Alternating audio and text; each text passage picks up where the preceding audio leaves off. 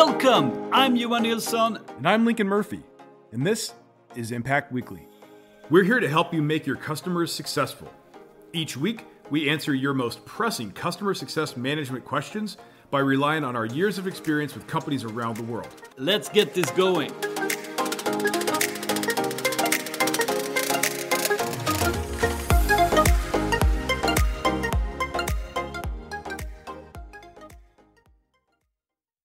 Hello, everyone.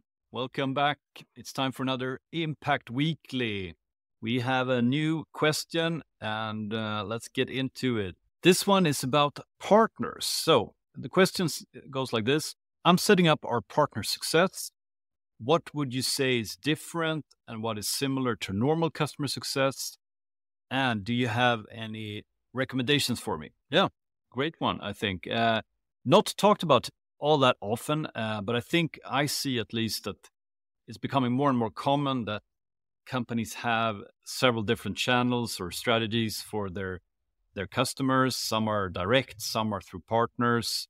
So I think it's a really interesting topic to talk about and uh, dive into a little bit, especially how to think about it and what what to look out for and what's different uh, from how you work in in a normal customer success uh, way, basically. Oh, for sure. I, I just want to echo what you said. I mean, this is definitely something that comes up a lot, and it but it's not talked about very much. So I'm pretty excited to cover this topic today. Yeah, I think also what I see more and more as well is that you have. It's also because there's a lot more platforms, a lot more products, uh, and a lot more business models now that you see um, vendors that you have customers with different layers.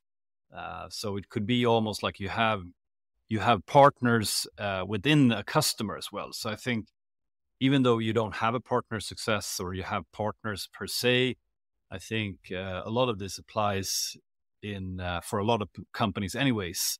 Um, how to deal with these uh, intermediates uh, when you're used to working to direct customers or direct directly with end customer, basically, or end user.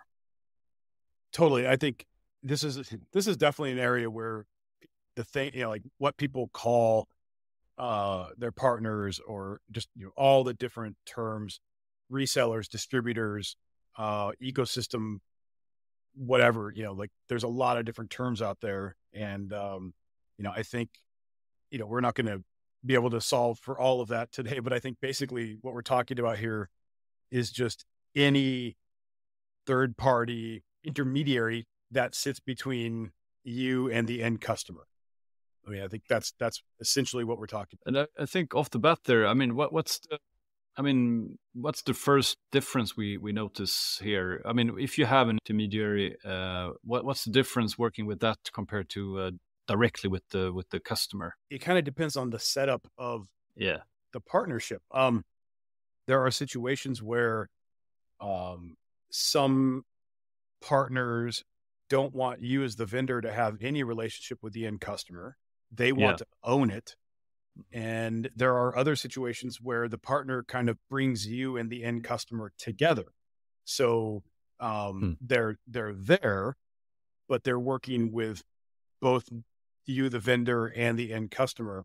And so you know there's there's visibility um, throughout the entire thing versus the the partner that doesn't want you to have any uh, any role um, in the customer's oh. world except I guess to you know, provide the product or service. So that right there is going to dictate how you approach this operationally. You know, mm. do you have visibility into what's going on? Um, are you going to be able to empower the end customer directly, or are you going to have to create processes and systems and enablement and ops to sort of empower your partner to customer success, the end customer. So it really yeah. depends on that setup. Yeah, for sure. But also we, we should probably talk about why if you if you don't have partners or you don't have that type of setup today, why why are why do why do uh, some some vendors go with a partner strategy? What what is the value here of, of working with partners? And and I mean, if you're naive here, you could say why why should anyone do that rather than going directly, working directly with your customer? So It, it's a very, I mean, it's a valid question, and um, especially nowadays, where I mean, the idea of going directly to the source uh, for just about anything, um, mm-hmm. you know, make like that's, of course, that's what you would do.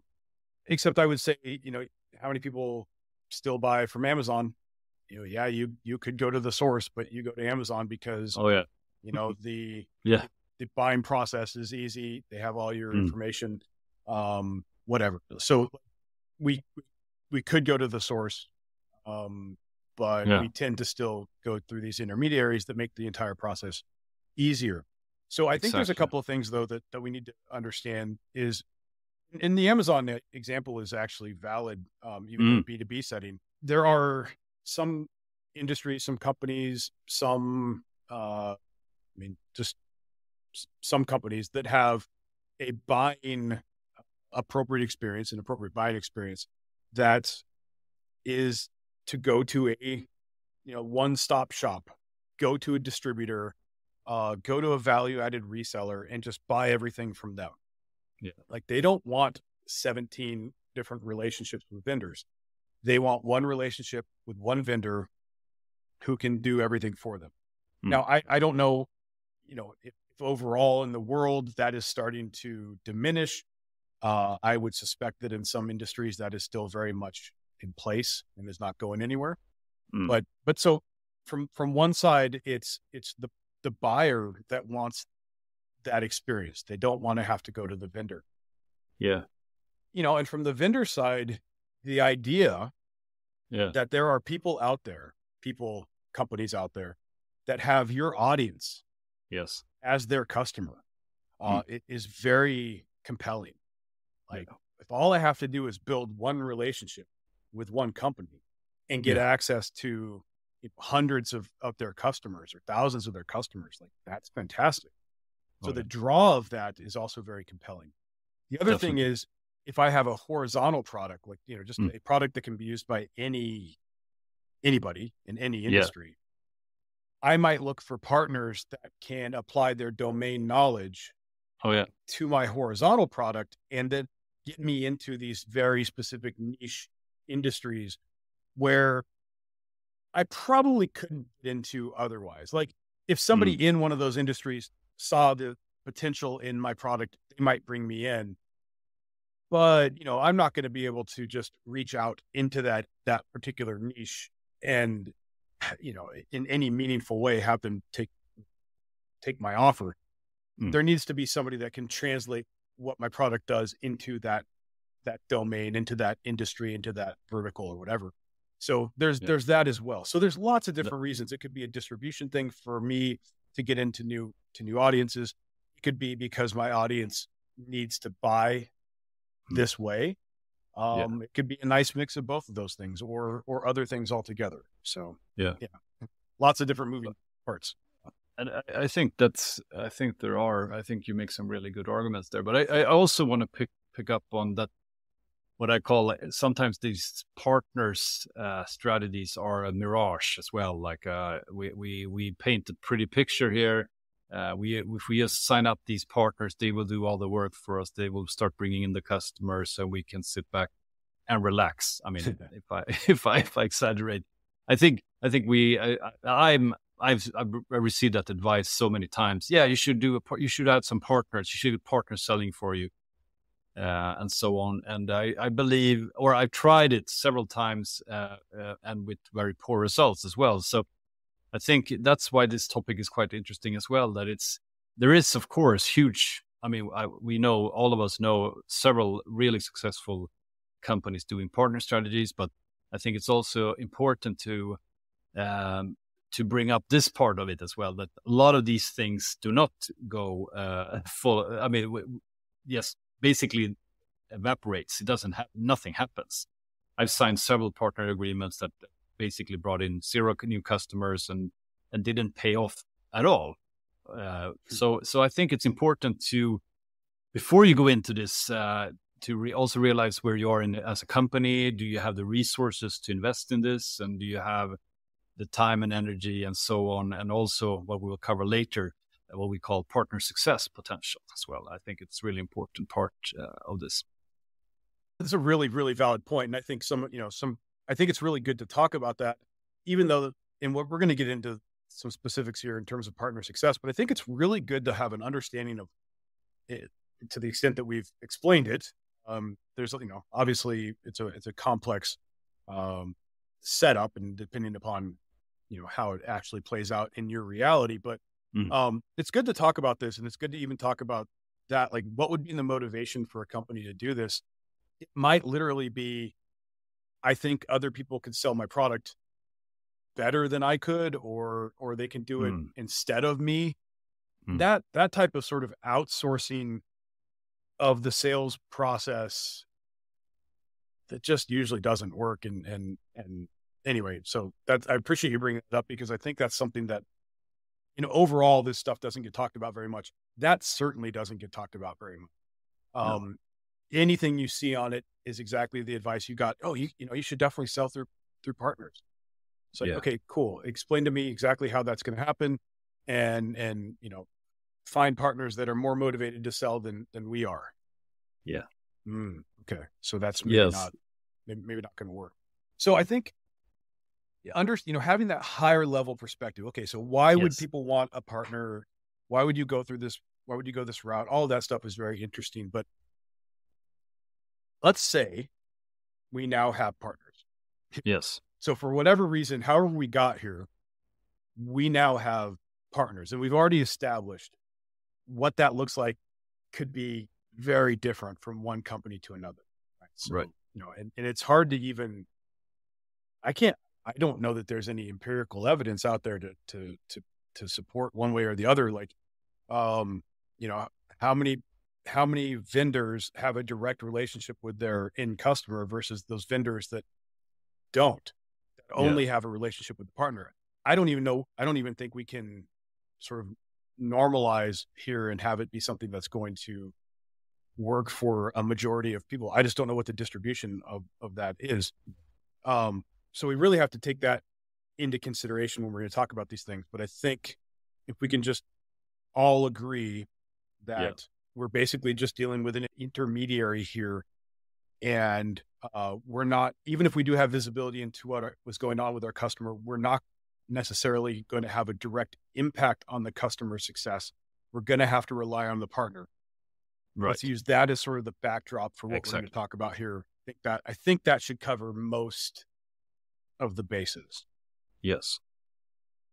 I think so too. And and let's let's go back to the question here as well. So so this person now, as you say, we we have partners already. Never mind how we got there and the reason behind there.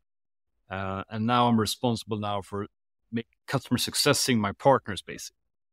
So so that's where we are at right now. And and let's talk about how that's both different and similar to uh, how we how we do customer success in uh, in general. Well, and I think the best place to start is what you brought up a minute ago, which is partner success potential. Yes. So this is something we're going to have to deal with once they are a partner. It's certainly something we should have been dealing with before they even became our partner. But let's talk about that for a little. Yeah, and I think, uh, and as as with our customers as well, they evolve, right? So similar with partners, maybe even more so. So uh, I think it's something you need to reassess the partner success potential as you go as well. But I think just it's it's very important to understand. Uh, I mean, what is the motivation for the partner here to work, help us with our our end users? How how dedicated are they? Are we one in many of their offerings, uh, or are we just the sole one that the only one they work with? I think. I mean, this is of course something you you you know, and and but but this is I, has quite big impact on what what you can expect from the partner as well. Uh, so I think that's a big dimension or a big part of the dimension when you when you look at partner success potential, basically. How dedicated are they? Um, and and also what I like to talk about how how how well is the overlap between what the what the partner wants to achieve and what we want to achieve, or uh, even more so the customer or or or joint customer. What what is what what are they trying to achieve, or do we have the same goal, basically? Just like in customer success, just straight up customer success where where we are working with the end customer that alignment has to be there. We we have to understand what the customer is trying to achieve. We have to make sure that what we're doing is is in line with helping them achieve that. And now you add mm. this extra layer in there. That alignment has to be there throughout the entire sort of value chain. Um, mm. And and it, it this is this is complex stuff. You know, think on the on the partner success potential thing, just like with customers and and success potential for our customers yeah. Meaning, can we check all the boxes that that indicate that a customer has the potential to be successful with us? That's not success guaranteed. This is just sort of a minimum viable customer, right? Right. If, if these things are in line, that means that they have potential to be successful. This is not an ideal customer.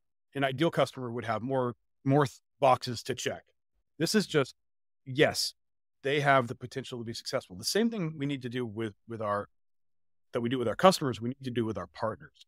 So I would say if you have partners that you're working with right now, go back and look at those and say, um, what would be criteria for for a successful partner, and how many of our customer, how many of our partners um, match that criteria, and and hmm. those that don't, we would say that they're a bad fit partner. So mm using the example that you were talking about, Jan, if we need our partner to be 100% dedicated to our product because our product is very complex, our customers are very complex, their customers are very complex. Um, and yet we are just sort of a part of a portfolio of products that they offer to their customers. That might not be enough. And, and, and so we need to be realistic about that. This is not a kind of partner that is going to be able to be successful working with their customers, working with our product. Like it's just not right. going to, it's not going to work. So we need to be realis- realistic about it. But there's going to be other criteria that is unique to your situation that you're going to have to come up with to say, if I can, if I can check the box on this, then our partner has the potential to be successful. If I can't check that box, then they are not going to be successful. They are a bad fit partner, and we should probably do our best to stop working with them because our end customers are not going to be successful, and we're not going to be successful in in supporting them and empowering them to make the end customer successful. Um, a real concrete example of that is let's assume that the end customer or the end users needs a certain amount of training. Yeah. And our partner does not have the resources to be able to provide that training. Hmm. in this relationship, the partner wants to own all customer facing activities. So they, they won't allow them to come to training with us. Well, they need to train the end customer. They don't have the resources. They're unwilling to, to let the customer come to us. That would be a bad fit partner. Right. So we need to be realistic about that stuff. So obviously doing that before they become a partner is best, but doing that mm. right now and going back and saying, all right, well, here is a list of our bad fit partners, which probably, by the way, also jibes with the results that the partner is getting or, or that you're getting with that partner. Um, and then you can manage accordingly. Right. So it's just like we would do with our existing customers. So that's really important stuff. I don't want to gloss over how important the partner success potential is. No, I think that's um, I think that's uh, it is a little bit more complex when you have a partner, basically, uh, because you have to manage two two two sides uh, or two uh, counterparts here. You have the partner and you have your end customer, which is is of course your customer, your recurring revenue uh, in the end.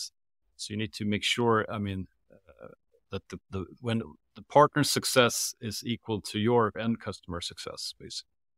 And this is where I think the success potential uh, is is uh, is a work you have to do constantly with uh, as you go, and of course have that when you start signing up new partners to make sure you get the right ones in. Um, let's let's also talk a little bit about um, how how do we how do we do with communication here? I think that's also something that's uh, given the complexity, you also have to think on com- communication. Uh, uh, uh, as you say, there's several setups here, so we, we, we kind of need to look at the the one we uh, discussed earlier. So I always say we want to make sure that we're we're enabling our partners to do more of their core business to to you know do what is necessary for them to be successful. We want to empower mm. that.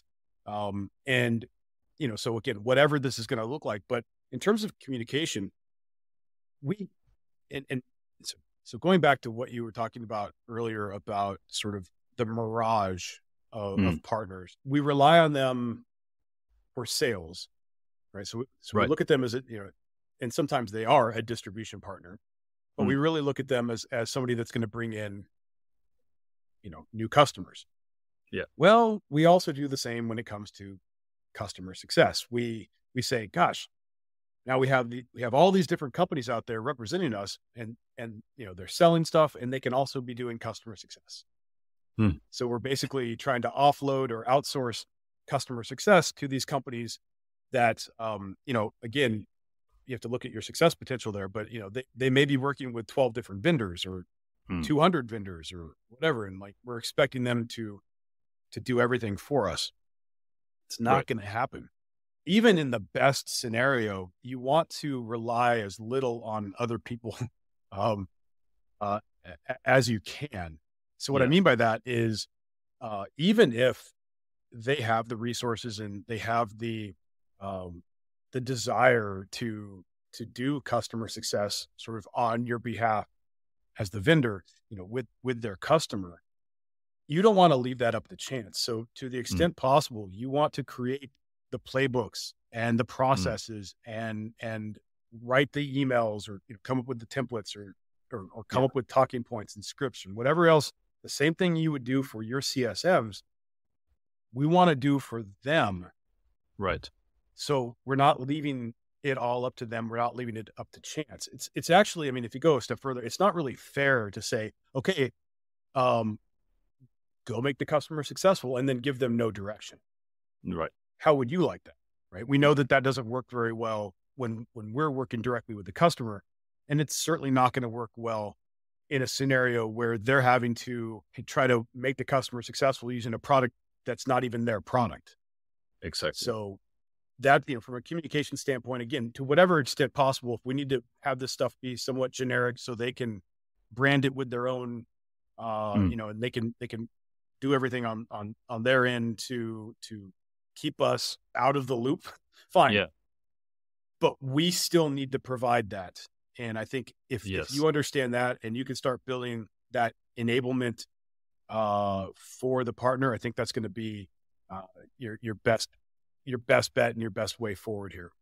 Yeah, I I, I think that's a huge point. Uh, so it's, similar to what we have in with customers. We build a, a, customer success plan. We need to have a partner success plan and I, I, would say also that this can differ between partners as well, and, and goes back a little bit to these uh, partner success uh, potential as well. If you identify these are the um, the missing parts, uh, or or these are the things this partner can deliver on, and these are the parts like training that we we we we don't see this partner being able to do that, then we should insist on us having that part uh, in the relationship, or that should be part of the success plan uh, together with the partner as well. And this can vary. I've seen this. Some partners can do more and some can do less. So we, we should not also just throw out the partner. we, we need to revise a little bit as well, uh, usually, because they have different, they are different animals as well, the partners. So, right. So, I mean, I think this goes to, to success potential, just like we say with customers. Like if we're doing customer success potential, this is a moment in time where we say, right now, here is what we can do for our customers. And so customers that don't match this criteria right now, they don't have success potential. Right now, they would be a bad fit. Right. So let's say we're an early stage startup. You know, mm. we don't have a lot of we don't have a lot of resources. We don't, you know, we, we can't help our customers in in yeah. the ways that we would maybe like to. So customers that need a lot of strategic guidance, need a lot of technical setup, a lot of stuff, we can't do that for them. Later on, when we grow, we get some funding, we get, you know, we just evolve, we become more mature, we can start doing more things for our customers. We now have more customers that we could identify as have as having success potential. Right. Same thing goes for your partners. if right mm. now you cannot do a lot of enablement for them, you mm. you can't do certain things, or the relationship that you have with your partners maybe is still based in a legacy of distrust in your industry. Like, you know, I've I've run into that situation where hmm. companies mm. come in and they're like, you know, uh, this XYZ company that everybody knows, you know, they used to sort of try to pierce the veil of the partnership and go steal in customers from their partners. So mm. now everybody that does business through a through a channel partner doesn't trust their partners. Um, right. Like if that's what you're dealing with, okay, that's the reality right now. But maybe as we work with our partners and we build that trust and we, you know, some of those that that legacy baggage starts to fall to the wayside, maybe what we can do for the customer, maybe we can have a more direct relationship with with the end customer. Now, if that happens, then then the the nature of our relationship with the with the partner is going to change. So, yeah. you know, over time, what success potential looks like for a partner would just naturally evolve. So, you know, all of that stuff has to be taken into consideration. And I think that's that's really yeah. big. But you do have to understand what you can and can't do right now. Mm. And that will tell you right now whether some partners have success potential or not. Yes, I agree. I think that's sometimes, especially if you, what I mentioned earlier as well. If I mean, be be aware that usually partner a partner strategy requires quite a lot uh, enablement to make it successful and uh, be aware that you have that, those resources and you have that maturity in the company before you launch i think it's a yeah it's, it's a big point here but great so let's let's uh, break this down into our three concrete things uh, so this question was basically i'm setting up a partner success uh, what what uh, what are the differences and similarities to normal customer success, and what are our recommendations? So, our three things. Uh, let me start here. So, we talked about it a lot, uh, but I want to make sure put together a partner success potential checklist, basically. That's number one. And number two is develop a partner success plan, just like we would do with our customers. What's it going to take for our partner and our end customer yeah. to be successful? put that together. And number three, keep up with the evolving goal of the partner. And you need to make sure that that's in line with the end customer uh, goal as well. So uh, those are the three things. Uh, good luck with this and keep asking questions to us and see you all soon. Hey, thanks for listening. Do you want to bring your customer success to the next level? Check out Impact Academy we have training programs for customer success managers and for leaders in customer success.